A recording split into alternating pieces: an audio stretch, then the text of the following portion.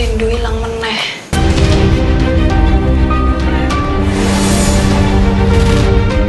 Bantu kamu cari rindu. Apa maksud kakak?